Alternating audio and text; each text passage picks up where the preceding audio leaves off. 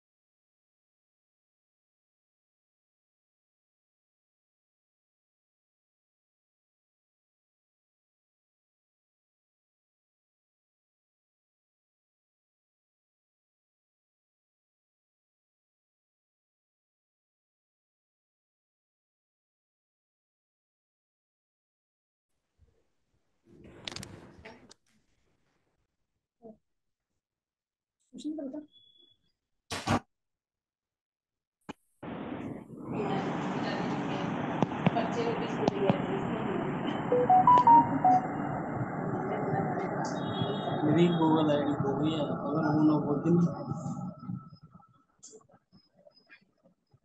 दो। सौ में पीडीएफ और बाय पोस्ट पैन कार्ड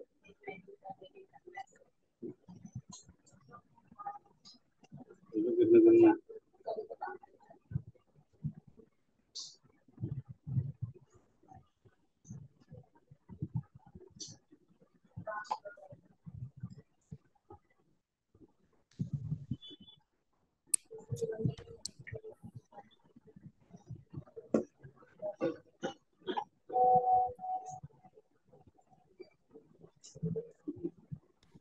कर दिए पैसे उधर सेंड कर दिए पैसे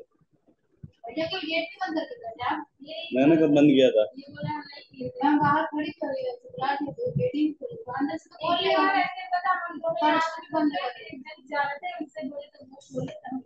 नहीं नहीं मैंने कोई गेट बंद नहीं करा। Good morning to all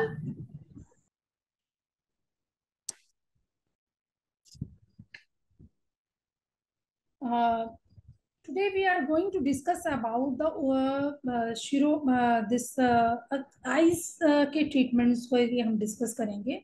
Now what is you can see in your OPDs also and there is a eyes की कंजक्टिवाइटिस बोल सकते हैं या वायरस डिज़ीज़ जितना ज़्यादा जो है कॉम्युनिकेबल हो रहा है।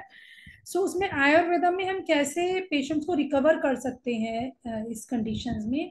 बिकॉज़ ये कॉम्युनिकेबल डिज़ीज़ है एक से दूसरे को हो जाती है। तो इसमें हमें अक्षी तर्पण के माध्यम से या आई वॉश के माध्यम से या प्रक्षालन के माध्यम से कैसे इसको हम रिकवर कर सकते हैं। So I am sharing the slides so did you aware about the Akshi Tarpana treatments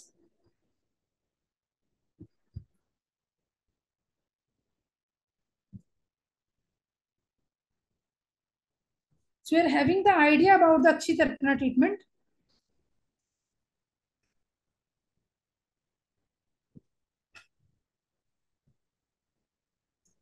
Akshi Tarpan पे ऑलरेडी हमारी कुछ क्लासेस पहले भी हुई हैं कि कैसे आप अक्षी तर्पण पेशेंट्स को दे सकते हैं। बिकॉज़ अगर पेशेंट को कंजक्टिवाइटिस की प्रॉब्लम है या उसको इरिटेशन हो रही है रेडनेस हो रहा है तो उस कंडीशन में या तो हम आई कप में त्रिफला कषायम को डाल के उससे वॉशिंग कर सकते हैं। सो उसका जो पूरा प्रोसीजर रहता है, आप त्रिफला त्रिफला पाउडर को लोगे, पाँच ग्राम त्रिफला पाउडर को, एक इसे आपने हंड्रेड एम बनाना है। सो पाँच ग्राम को आपने हंड्रेड एम में बॉईल किया रिड्यूस टू हाफ़ और उस से आप आई वॉश पेशेंट का करवाओगे। आई वॉश करने का तरीका जो रहता है, जैसे आपने for example this is a Triphala Kashayam Triphala Kashayam को लिया और पेशेंट इसमें आई को डिप करेगा। So this is a procedure इसमें आईज को डिप करके प्रॉपर उसकी क्लीनिंग करेंगे, इसके लिए आई कप्स आते हैं। सो आई कप में त्रिफला कषायम को डाल के उससे पूरी ही आईज की क्लिनजिंग की जाती है। इससे क्या होता है, एक तो ये इन्फेक्शन जो बहुत ज़्यादा इस टाइम कम्युनिटी में फैला हुआ, उस इन्फेक्शन को ये रिकवर करेगा। दूसरा, हमारी आईज को क्लीनिंग करने में हेल्प करेगा। इसके साथ साथ हम अक्षी तर्पण का ट्रीटमेंट भी पेशेंट को एडवाइज कर सकते हैं। अक्षी तर्पण में मेडिकेटेड घृतम को यूज़ किया जाता है। So did you having an idea about the Tarpana treatment what is the difference between the shodhana treatment and what is the difference between the tarpana treatment? Anybody can having an idea about the shodhana treatment and tarpana treatment हमें शोधन treatment क्यों करवाना है और तर्पण treatment किन conditions में देना होता है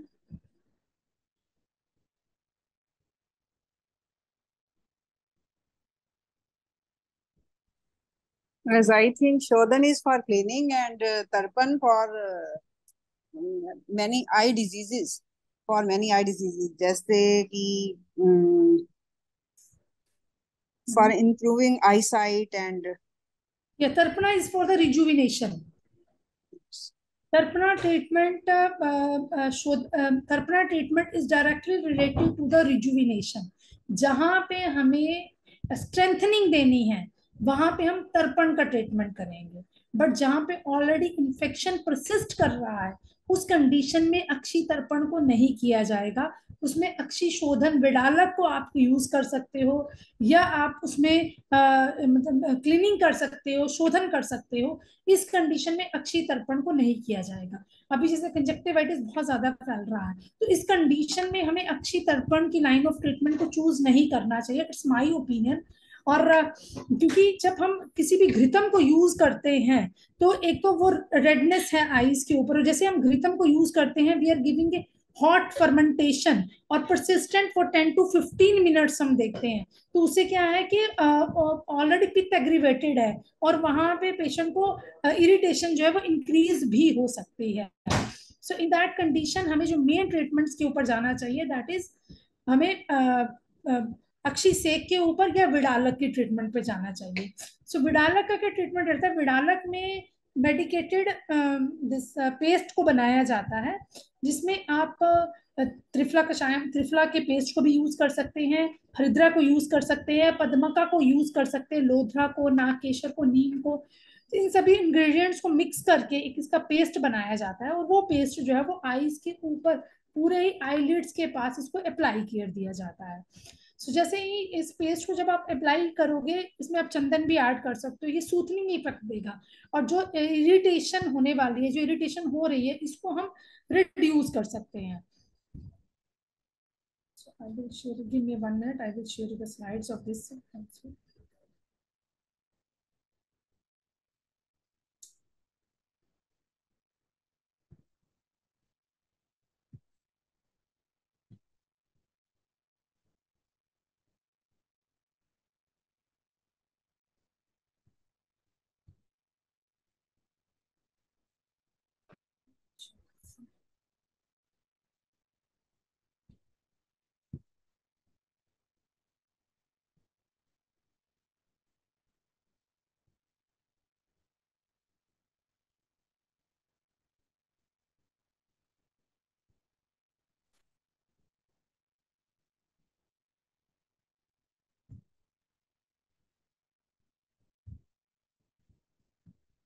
जब भी हम आईज की ट्रीटमेंट्स की बात करते हैं तो हमें सबसे पहले उसका पॉजिटिव फैक्टर्स को देख के जैसे अगर हमने अच्छी तर्पण भी किसी का प्लान करना है सो अच्छी तर्पण में मेडिकेटेड ऑयल को, जिसमें त्रिफला घृतम को ले सकते हैं, जीवंती आदि घृतम को आप ले सकते हैं तो इस घृत को मेडिकेटेड घृत को गर्म करके धीरे धीरे से इनर कैंथस की तरफ़ इसको डाला जाता है। तो इनर कैंथस में जब हम इसको डालते हैं तो it can spread to the whole eye after that आचार्य ने मेंशन किया है कि हमें वात पित्त कफ के अकॉर्डिंग पेशेंट को कितनी मात्रा काल तक इसको ओपन करके रखना है। जैसे वन थाउज़ेंड मात्रा काल की बात करते हैं। सो so फिफ्टीन जितना अगर पेशेंट की ड्राई आई है रुखता बहुत ज़्यादा है तो उस कंडीशन में हम इसके टाइम ड्यूरेशन को इंक्रीज करेंगे। तो हम पेशेंट को 15 से 20 मिनट तक अक्षी तर्पण जो है, एक आइज़ का कर सकते हैं। बट अगर किसी पेशेंट का कफ प्रोडोमिनेंट है तो उसमें हमें 10 मिनट तक ही अक्षी तर्पण को देना चाहिए। पित्त के केस में हम 15 मिनट तक मैक्सिमम कर सकते हैं। तो जैसे हमने अच्छी मेडिकेटेड घी को इनर कैंथस पे डाला तो धीरे धीरे वो स्प्रेड होके पूरे ही आईज पे जाएगा। After that patient can blink their eyes जैसे वो आईज की ब्लिंकिंग करता है सो जो ऑयल है, वो हमारे लैक्रिमल ग्लैंड्स के थ्रू और वो पूरे ही आईज के अंदर हमारी स्प्रेड करता है। So it help to rejuvenate the eyes अब जहाँ पे हम डायबिटिक न्यूरोपैथी की बात करते हैं जिनको भी डायबिटीज़ होती है that is a complication patient को बाद में न्यूरोपैथी वाली कंडीशन आ जाती है और आईज का विजन जो है वो धीरे धीरे कम हो जाता है। सो डायबिटिक पेशेंट्स को भी कॉन्टिन्यूस हम अच्छी तर्पण के लिए प्लान कर सकते हैं ताकि हम उनकी आईज को डायरेक्टली जो है वो रिजुविनेट कर सके। सेकेंड थिंग जब रहता है, जब अक्षी तर्पण को देते हैं, उस कंडीशन में पेशेंट जब आईज ब्लिंकिंग करता है तो उसको जैसे चार ने मेंशन किया थी वन थाउज़ेंड टाइम तक उसको ब्लिंक करना है। तो इट्स डिपेंड्स इसमें ऐसा कुछ नहीं है वी कैन ब्लिंक पेशेंट जो है वो उसको जितना उसकी विल होती है जितना उसके अंदर मतलब पावर है दे कैन ब्लिंक या their eyes and after that then they can stop that धीरे धीरे से ब्लिंकिंग करेगा फिर रिड्यूस करेगा रिलैक्स करेगा देन अगेन से उसको ब्लिंकिंग को जो है वो कर सकता है। और अक्षी तर्पण में जब भी मेडिसिन uh, डालनी होती है दैट शुड बी ने इनर कैंथस की तरफ़ डाली जाती है कभी भी आउटर कैंथस की तरफ़ नहीं डाली जाती। इसके लिए भी जैसे हम अंदर की तरफ़ से डालेंगे तो इट कैन स्प्रेड ये पूरे ही हमारे आईज के ऊपर स्प्रेड कर जाएगा। बट जब आप अपांग और कनिक संधीज की तरफ़ अगर बाहर की कैंथस की तरफ़ डालेंगे तो वो इट कैन लीड टू वो आ, उसका लीकेज हो सकता है। जैसे हम देखते हैं जानू बस्ती में या कटी बस्ती में जब हम आ, इस कप को लगाते हैं तो उसमें मेडिसिन जो है एकदम से बाहर स्प्रेड नहीं होती है। तो सिमिलर लाइक दैट जब अक्षी तर्पण किया जाता है तो अक्षी तर्पण में आप जो ये स्विमिंग वाले गोगल्स होते हैं you can also use that nowadays मैंने बहुत सारे पेशेंट्स को ऐसा करके देखा, उनको क्योंकि जब हम आटा लगाते हैं तो पेशेंट को अवेयरनेस हो जाता है कि भाई प्रॉपरली आटे से वो लगा रहे हैं। कई बार थेरेपिस्ट जो है वो बहुत मोटा थिक उसका अब बना देता है लेयर बिकॉज़ इसमें टू सेंटीमीटर अबव होना चाहिए और थिकनेस जो है वो बहुत मोटी नहीं हो जैसे हम कटी बस्ती का एक डूश बनाते हैं तो उसमें थिकनेस जो है वो फोर टू फाइव सेंटीमीटर्स की होती है। एंड जो डूश होता है वो उसका एरिया जो है वो सात से आठ दस दस से पंद्रह सेंटीमीटर्स का हमें लॉन्ग लेना चाहिए। बट आईज में जब हम अक्षी तर्पण देते हैं तो उस कंडीशन में जब आईज में जब हम अक्षी तर्पण देते हैं तो उस कंडीशन में जब हम इसको लेके चलेंगे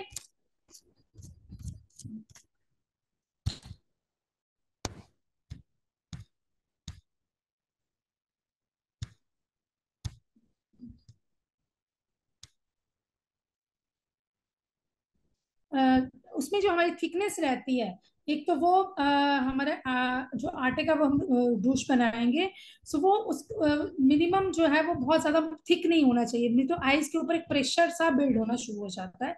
अब मेडिकेटेड ऑयल्स की जब हम बात करते हैं इसमें आप कषायम को भी यूज़ कर सकते हैं या आप नेत्रल्य ड्रग्स जो नेत्र को इंक्रीज करने वाले कपूर कचरी के ड्रग्स को भी इसमें इंड्यूस किया जा सकता है। सो और नेक्स्ट इसमें आप जैसे मेडिसिन को पोर करते हैं तो वो आप कषायम को भी यूज़ कर सकते हैं। तो कषायम को जो बनाने का तरीका होता है सिमिलर जैसे हम बस्ती का कषायम बनाते हैं, उसी तरीके से हम कषायम को बनाएँगे और वो कषायम के ऊपर जब हम लिड को लगाते हैं तो ये लिड ये पूरे ही इस एरिया को हमारा कवर करेगी। और अगर आप स्विमिंग वाले गोगल्स को यूज़ करते हैं तो वो प्रॉपर आईज के ऊपर फिट हो जाता है, उससे लीकेज जो है वो बहुत कम होती है।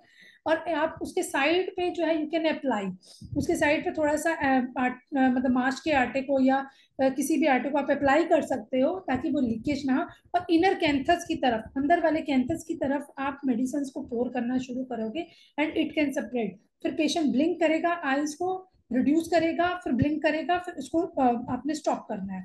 This is the main procedure of akshi tarpana akshi tarpana किन कंडीशंस में हमें देना है?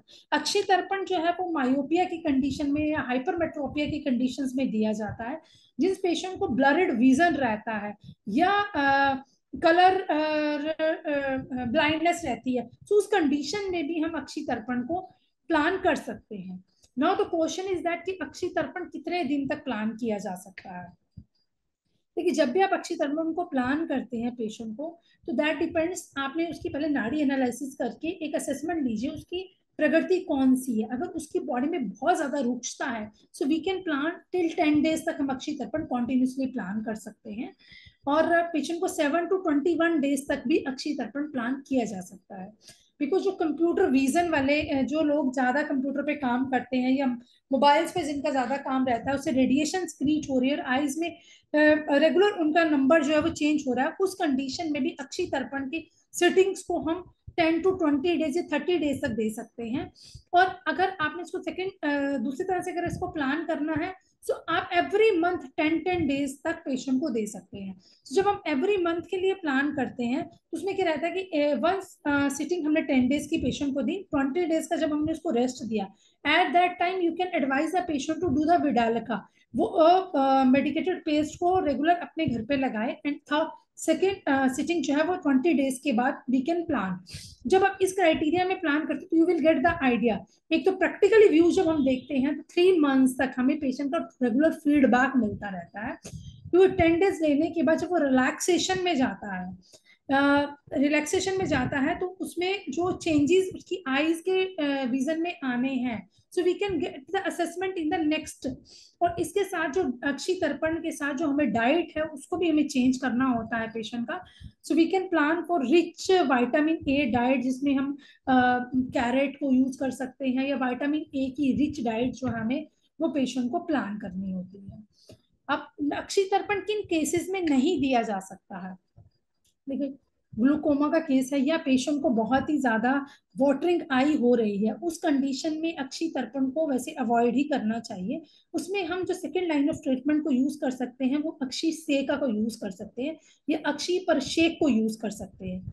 अक्षी सेक को भी करने के लिए, अक्षी सेक जो है वो मिल्क से भी किया जा सकता है, या आप जैसे क्षाया धारा बनाते हो तो क्षाया से भी अक्षी सेक किया जा सकता है। What is the difference between akshi seka and akshi तर्पण इन दोनों में ही क्या डिफरेंस है? How we can choose the patient किस पेशेंट को हम अक्षी सेक दें और किस पेशेंट को हम अक्षी तर्पण से ट्रीटमेंट करें?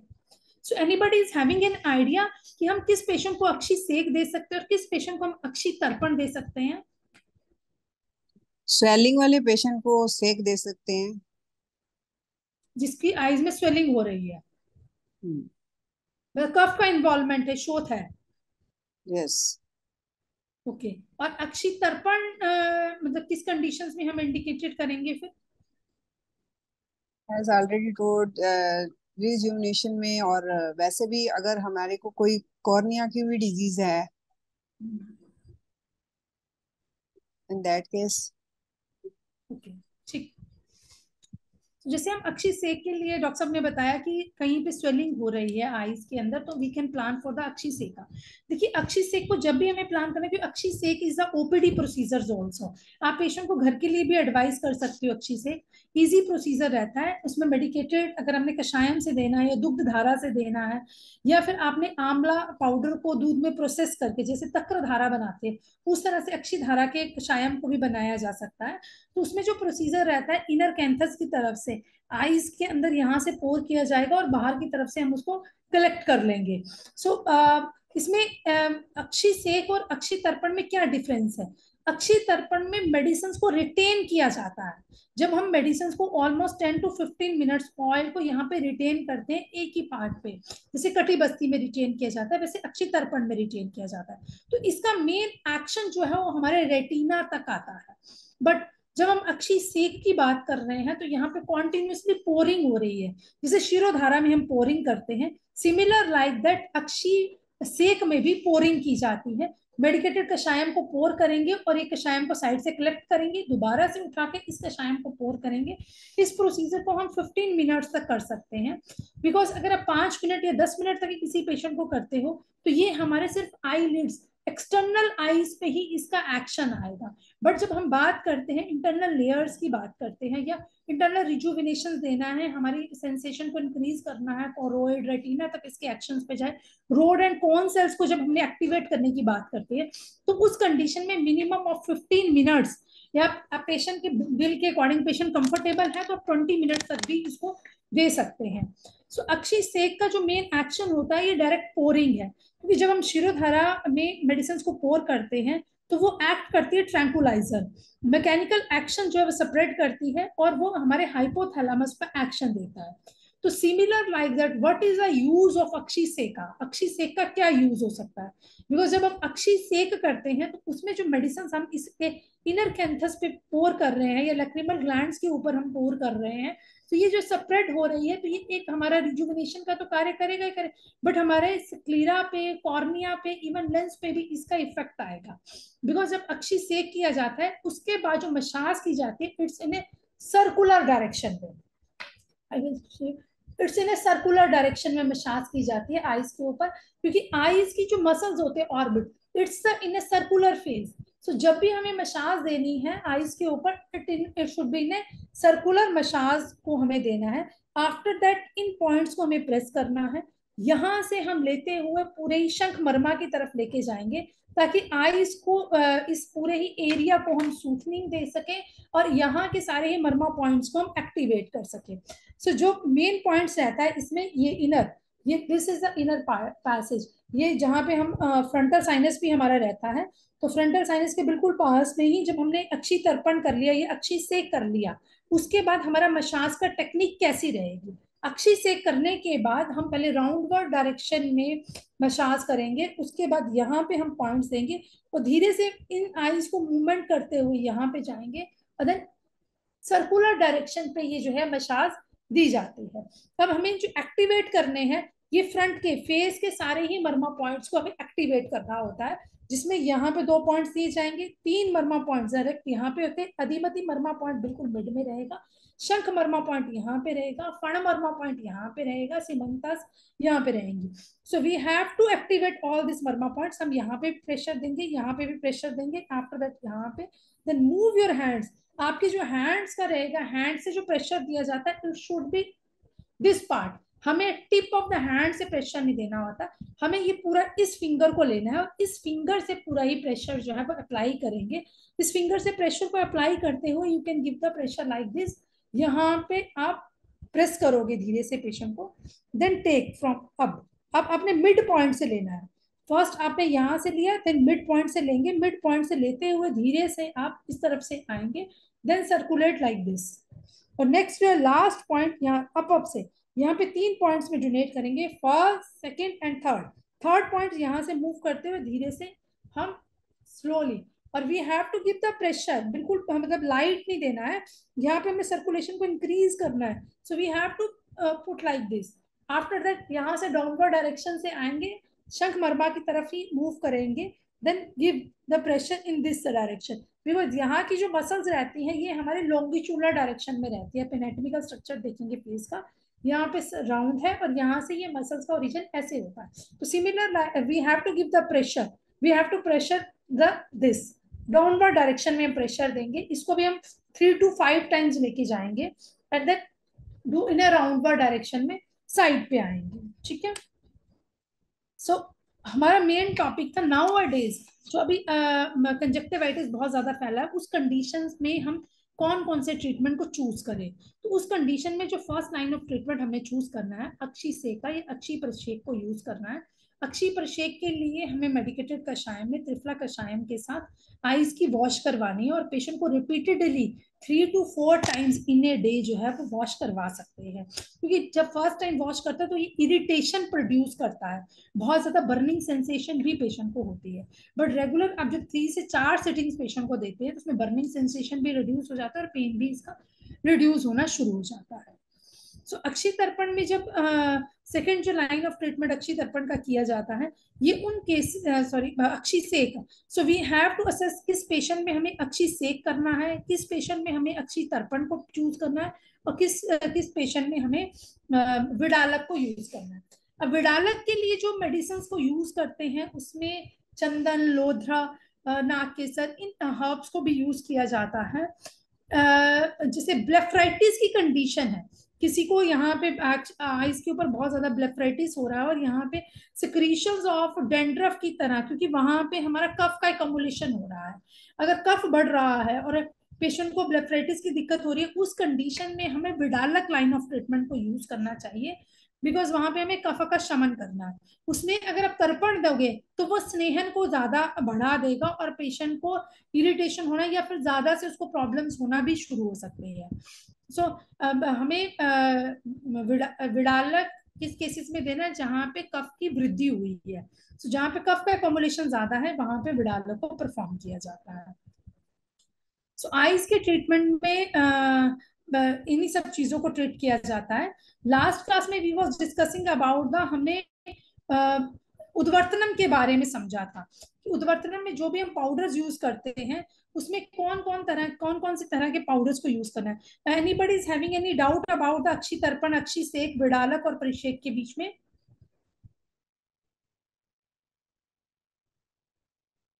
The participants who are joint there किसी को भी कोई डाउट है? अक्षी अक्षी सेक अक्षी परितर्पण अक्षी परिषेक के रिगार्डिंग किस कंडीशंस में देना है ये कैसे प्रोसीजर करना है?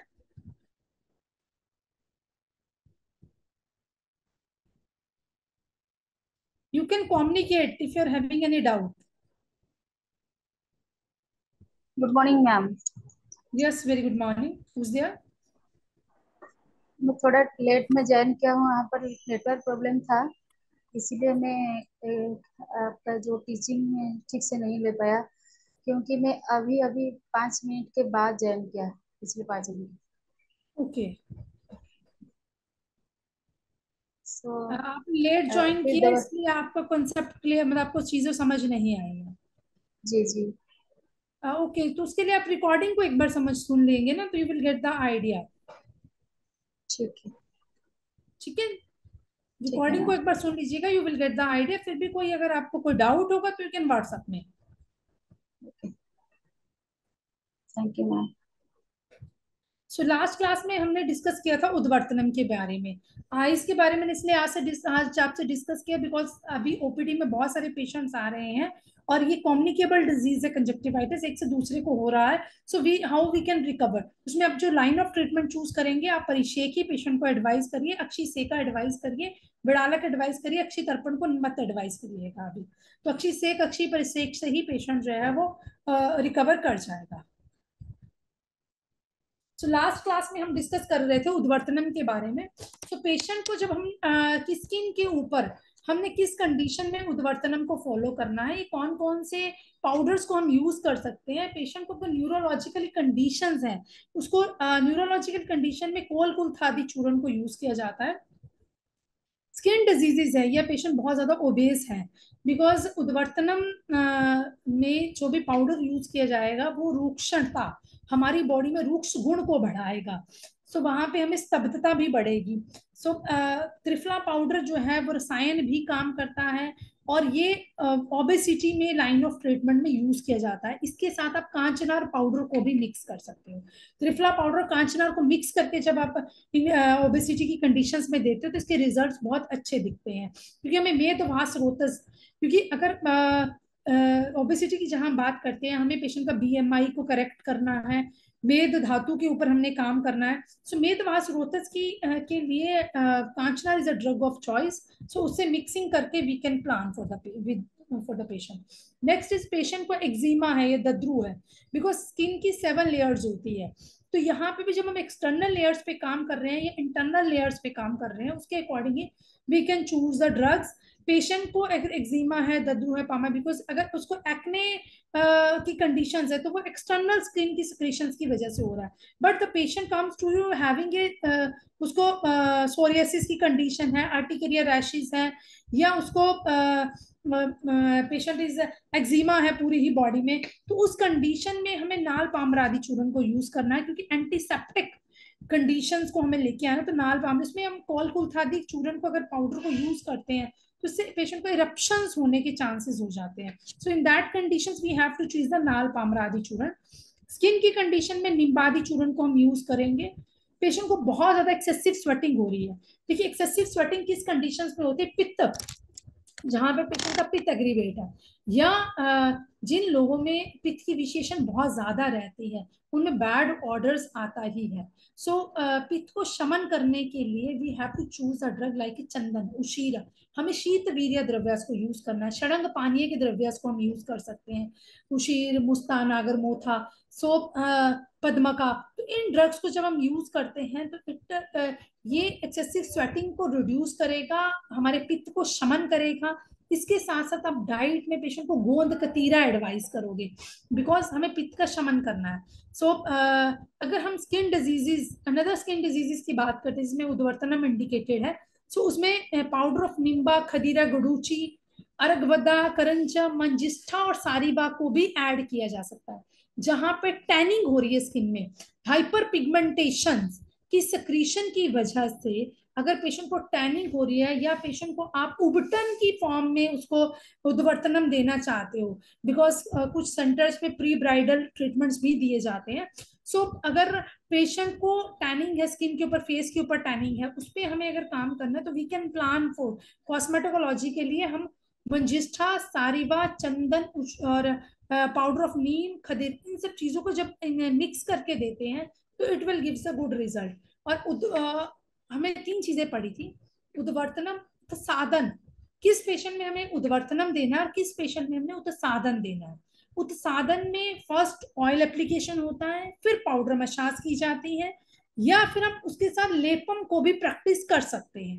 देखिए जब भी आप किसी पेशेंट को एक लाइन ऑफ़ क्राइटेरिया के अकॉर्डिंग ट्रीटमेंट प्लान करते हैं सो हम उसको तीन ट्रीटमेंट अगर हम प्लान कर रहे हैं सो उसमें हमने पेशेंट को फ़र्स्ट उद्वर्तनम दिया। सो सेकेंड हम उसको लेपम एडवाइस कर सकते हैं। तो दीज आर द इंडिकेटेड ये बोथ थेरेपीज पेशेंट के साथ में चल सकती है। उद्वर्तनम दिया स्टीम दी और फिर हमने उसको लेपम एडवाइस कर दिया।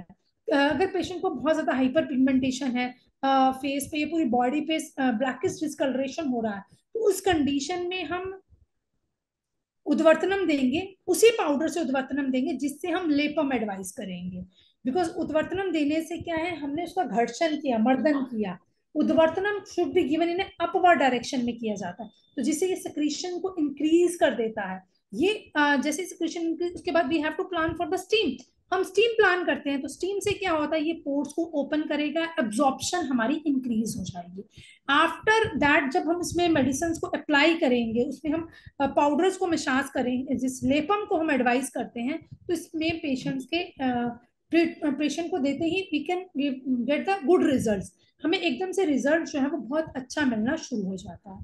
सो so, जब भी आप प्रैक्टिकली चूज़ करते हो तो आप पेशेंट को एडवाइस करेंगे जिस पाउडर से आप उद्वर्तनम कर रहे हो, उसी पाउडर का आप लेपम लगवा दीजिए तो it will give you very good result to the patient से उद्वर्तनम मसाज जो है मोस्टली हम ओबिसिटी के कंडीशन में हमने देखा डायबिटिक मालाइटिस के कंडीशन में।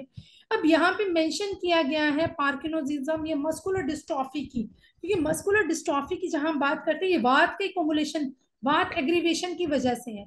और उद्वर्तनम लाइन ऑफ़ ट्रीटमेंट हम रूक्षण ट्रीटमेंट देते हैं, कफ को कम करने के लिए।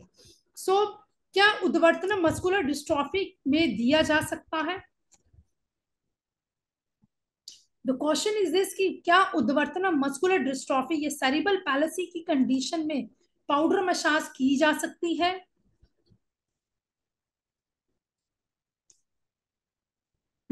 या पेशेंट फ़र्स्ट विज़िट पे हमारे पास आया डॉक्टर के पास क्या आप फ़र्स्ट विज़िट में पेशेंट को उद्वर्तनम लाइन ऑफ़ ट्रीटमेंट प्लान कर सकते हो?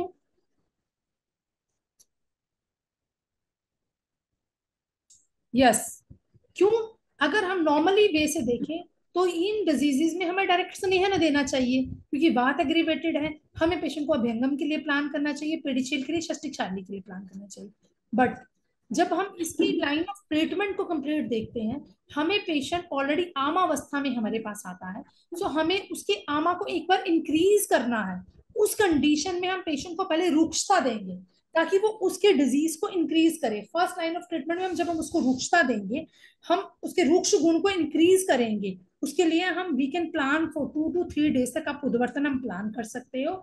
जैसे ही उसकी बॉडी में रुक्षता बढ़ती है, उसकी पेन्स बढ़ेगा मल्टीपल स्क्लेरोसिस का पेशेंट है उसको पेन है ऑलरेडी वो उसका एकदम से पेन उद्वर्तनम के बाद बढ़ जाएगा। आफ्टर दैट आप उसको रूक्षण स्निग्ध चिकित्सा के लिए प्लान करोगे। आप उसको पत्र पोटली के लिए प्लान करोगे।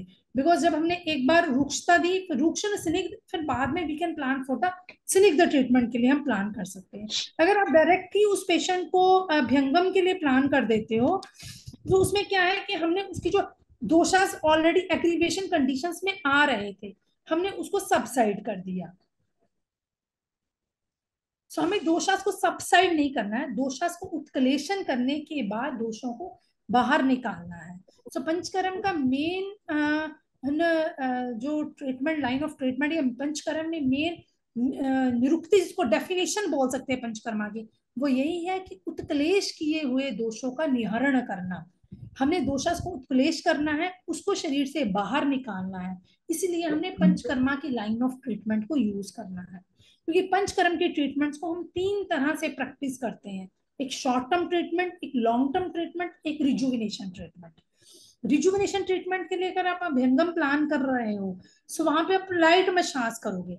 बट अगर patient is having muscular dystrophy cerebral palsy ये कंडीशंस हैं सो so, क्योंकि इसमें कंडीशन में आपके पास बच्चे ही आएँगे सिक्स टू सेवन ईयर्स का एट ईयर्स का जो भी है तो वो आ, उन बच्चों को जब हम ट्रीटमेंट प्लान करेंगे first you can plan for the उद्वर्तना हम उसके दोषास को एक्टिवेट करेंगे फिर we can plan for the स्निग्ध रूक्षण स्निग्ध ट्रीटमेंट आप उसमें पत्र पोटली प्लान कर सकते हो then you can plan for the abhyangam then go for the षष्टिकशाली पिंड स्वेदन का बहुत अच्छा रिज़ल्ट आता है मस्कुलर डिस्ट्रॉफी में बहुत सारी इसकी रिसर्चेज भी अवेलेबल है। तो मस्कुलर डिस्ट्रॉफी में जब भी आप उसको डायरेक्ट षष्टिकशाली दोगे फास्ट सिटिंग पे ही patient will not get cured उसका उसकी रिकवरी नहीं आएगी। बट अगर आप उसका दीपन पाचन करने के बाद, उसके दोषा को निहारण करोगे क्लेश करोगे